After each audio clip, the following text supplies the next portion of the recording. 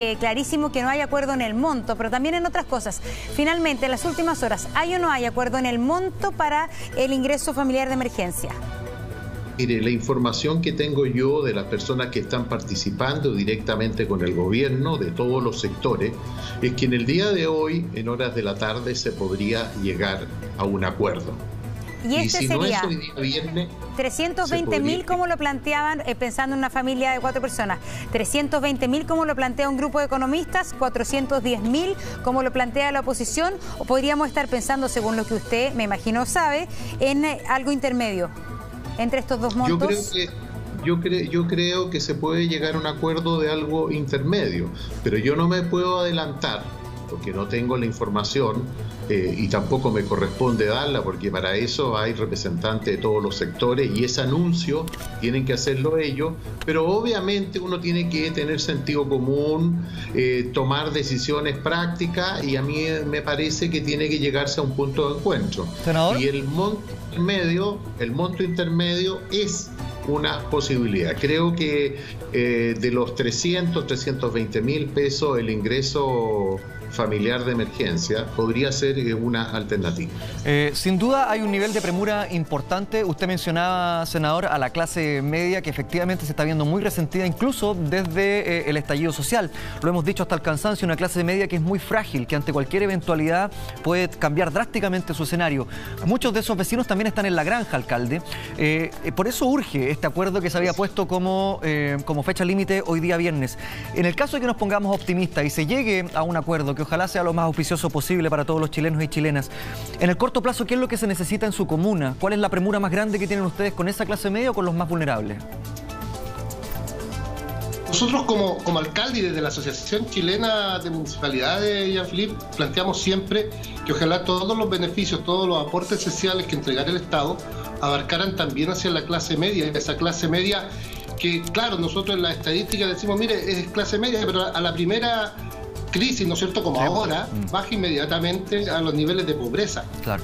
Por lo tanto, esperamos que esto, este ingreso familiar abarque también hasta el 80% de, de, nuestra población, de la familia. Eh, tenemos que llegar con algo hacia ellos. Y mira, hay un sector del país, también de la granja, muchos vecinos de nuestra comuna pagan la escolaridad de, de sus hijos o han pagado la educación, pagan las universidades, no tienen derecho a ningún tipo de, beneficio porque nunca califican. Cualquier, cualquier eh, ayuda o aporte que entregue el Estado en, cualquier momento nunca le llega a un vasto sector de, nuestra, mm. de nuestra población. Entonces ahora, claro, debemos aumentar el ingreso familiar debemos, para nosotros los municipios, hablamos de aproximadamente 400 mil pesos. Y mira, primero nos alegramos de que se hable ya de colocar, ¿no es cierto?, 12 mil millones o 15 mil millones eh, de aporte para poder distribuir en, no solamente en beneficios sociales, sino que también en la reactivación del país, del país para después. Es necesario hacerlo. ¿ya? Nos alegremos que ya está, estamos discutiendo esto. Ahora, ¿cómo lo distribuimos? Yo espero que hoy día o mañana haya luz, pero que haya luz justa para todos, para que se beneficien, eh, sin lugar a duda, nuestros vecinos más vulnerables, pero también los sectores medios de la granja que siempre quedan al margen, que han pagado su casa durante 20 años, durante 30 años, es justo que alguna vez el Estado, cuando están en una mala situación pasándola a ellos, les llegue ese, ese, ese aporte. Vamos a ver qué pasa, vamos a ver qué pasa, porque está el ministro de Hacienda con un monto, hay un grupo de economistas transversales que están planteando otro, ah, los senadores de oposición están planteando otro, vamos a ver si se llega a eso.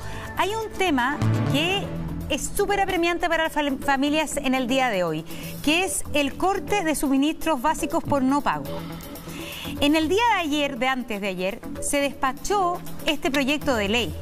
El Senado también lo aprobó. Es decir, esto quiere decir que en Chile ya hay una ley aprobada donde se prohíbe el corte de suministros a las personas que sean morosas. Sin embargo, eh, le pregunto justamente a Iván Moreira, porque es senador oficialista, al parecer el gobierno no querría promulgar la ley y podría recurrir al Tribunal Constitucional. Vamos a hablar de ese tema con usted, eh, don Iván Moreira, Felipe del Pin, pero los vamos a interrumpir un segundito porque tenemos eh, contacto con el ministro. Ah, era necesario para hacer algunas aclaraciones. Exacto, era necesario, eh, sobre todo porque hay muchas dudas. Senador, retomo con usted porque estábamos hablando de lo que pasa con los servicios básicos, con esta nueva propuesta de anular entonces los cobros para aquellos que se ven complicados en fechas como esta. ¿Cómo toma usted esa iniciativa y cómo lo ve en la práctica? Mire, lo, más importante, voy a ser súper cortito porque es importante, este es un tema sumamente delicado. Mire, no hay ninguno de nosotros que no esté de acuerdo con la medida de poder ayudar a las personas más vulnerables que no pueden pagar las cuentas, que no se le debe cortar los suministros menos en pandemia por tres meses y quizás por un tiempo más. Vamos a ver qué pasa con la pandemia y podemos buscar otros acuerdos con las empresas. Aquí quien llevó este tema fue el presidente Piñera. El presidente se reunió con las empresas y lo criticaron por conversar con las empresas para este, esta, esta iniciativa. Y yo creo que el Parlamento llegó un poco tarde, porque las medidas ya se habían tomado. Se llegó a un acuerdo el 27 de marzo y ayer, ayer, antes de ayer, ya ni me acuerdo, se aprobó este proyecto. ¿Cuál es la dificultad? Mire, el proyecto eh, aporta un plan solidario de Internet que también ya existe. El proyecto amplía los beneficios hasta el 60% más vulnerable eh, pero el tema está en un tema que no podemos saltarnos la constitución. Nosotros sabemos perfectamente cuál es el ámbito de nuestras atribuciones. Mire, y es peligroso esto que el fin justifica a los medios. Eh, porque el saltarnos procedimientos para llegar a un fin que podemos nosotros considerar justo implica eh, que no respetemos la constitución en un, en un marco eh, que la constitución es un marco mínimo para llegar a acuerdos. Eso es lo que denunciaba usted, senador, ¿no? Que muchas veces lo utilizan como carne de cañón para, para aprobar ciertas iniciativas de este tipo. Bueno, ese es el problema que hay, porque tú no puedes, mira, hay contratos, hay leyes, y tú no puedes obligar a una empresa a, a, a tener que entregar unos beneficios gratuitos sin una compensación. Entonces, eso claramente, desde el punto de vista jurídico, legal, constitucional, puede ¿No se puede hacer una excepción en este contexto, senador? ¿Entender que es una realidad distinta? A ver, le voy a explicar. Pero aquí hay otro problema grave, que además puede ser contraproducente, porque en en el siguiente proceso tarifario que va a venir en un tiempo más, las empresas pueden llegar y subir sus ofertas precisamente para cubrir estas nuevas condiciones, porque se le está dando a ellos eh, una obligación que no va a tener una compensación. ¿Y en este mismo proyecto no se regula eso, senador? A ver, no, está, no, no se puede regular porque, porque aquí hay contratos. Mire, ¿sabe cuál es el problema? Que el fin no justifica los medios y saltarse la constitución. Le voy a colocar un solo ejemplo. Uno dirá, estamos en una emergencia. ¿Quién se va a enojar para una cosa tan loable como esta, saltarse un poquitito la constitución por tres meses? Lo que pasa es que el día de mañana, en otra materia, a una mayoría circunstancial en el Congreso decide, a propósito del tema previsional, la gran discusión que tenemos, decide por una ley expropiar los fondos de más de 7 millones de chilenos que están hoy día en las FP.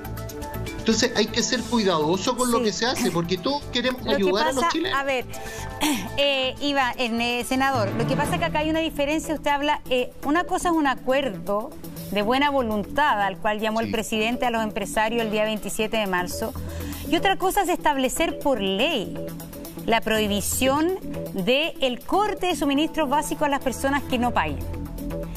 Y finalmente lo que está pasando acá es que el Senado aprueba, todo el Congreso aprueba una ley, y puede ser que por la vía de la ventanilla del Tribunal Constitucional esta ley finalmente no se pueda aplicar.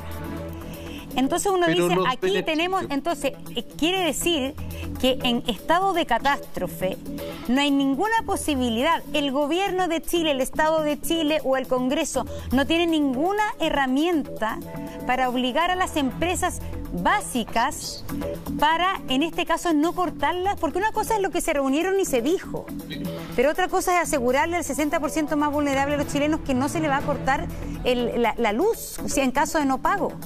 Entonces, ese es el tema que aquí es la diferencia entre un acuerdo y una obligación que establece una ley. Sí, yo estoy totalmente de acuerdo contigo, pero nosotros no nos podemos saltar la constitución. Si aquí no se trata de llegar a una ley, hay una constitución, gustará, no gustará. Si quieren cambiarla en el futuro, cámbienla pero nosotros no podemos pasar a llevar, somos los menos indicados. Pero si lo, patrocina, si, lo, si lo patrocinara el Ejecutivo, este proyecto, ¿no sería inconstitucional?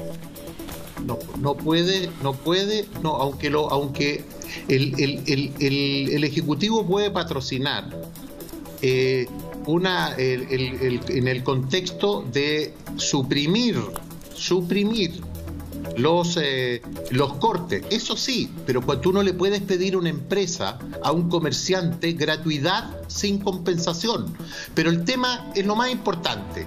Esto se está respetando, hay un compromiso y no creo que los compromisos de honor no se vayan a cumplir en un momento. Mira, con ley o sin ley, esto se está dando, se va a seguir dando, pero es que hoy día hay un problema.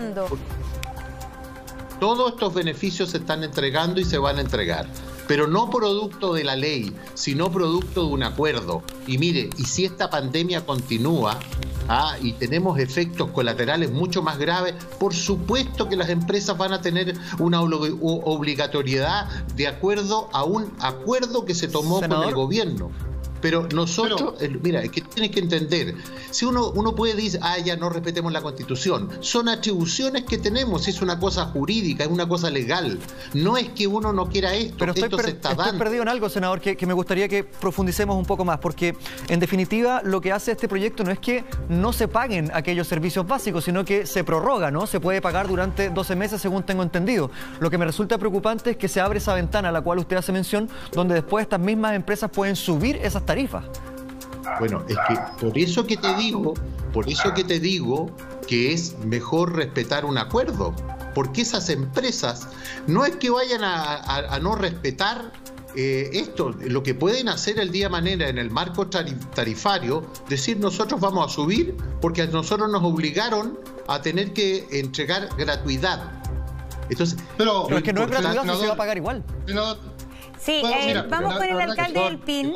A ver, alcalde del PIN sería interesante porque supuestamente después de este acuerdo no habrían corte de suministros básicos ni de internet, pero yo conozco casos cercanos en que sí ha habido corte de internet, por ejemplo, después del no pago desde marzo. No sé si usted ha visto la realidad eh, así en su comuna.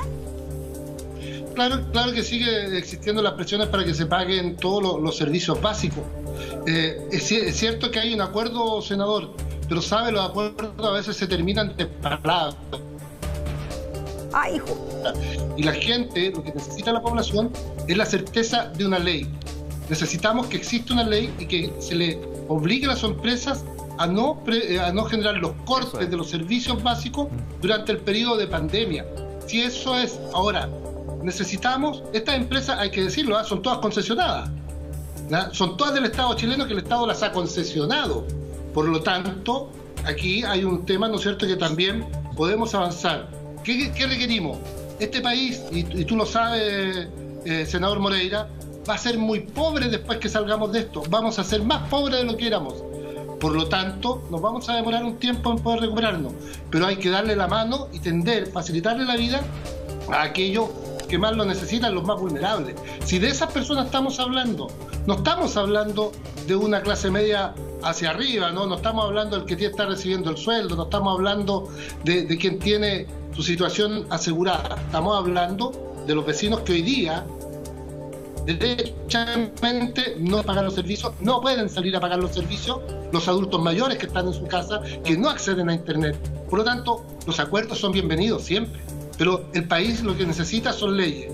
Y si nos ponemos todos de acuerdo, no va a ser necesario pasar por sobre la Constitución y tú lo, y tú lo sabes. O sea, aquí hay, tiene que haber un acuerdo donde en el Parlamento ustedes son los que tienen que, dictar las leyes y de asegurar, ¿no es cierto?, de que la normativa se pueda cumplir obrando siempre por el bien común, obrando siempre por el bien común. Yo no sé, ayer seguramente tú como senador del oficialismo eh, te has eh, abstenido en la votación, pero yo les digo, mira, los acuerdos duran hasta que uno se cansa y dice se terminó el acuerdo.